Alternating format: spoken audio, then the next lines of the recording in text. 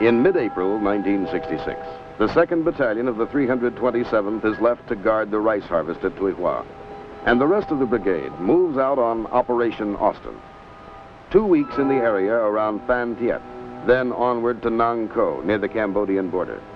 Here, where the Ho Chi Minh Trail enters South Vietnam, the Screaming Eagles meet the 141st Regiment of the North Vietnamese Army. For a while, the fighting is intense. The 502nd Airborne Infantry takes a number of casualties. It takes six days, from the 14th to the 20th of May, for the U.S. paratroopers to drive the North Vietnamese aggressors out of their positions in the foothills of Nang Co.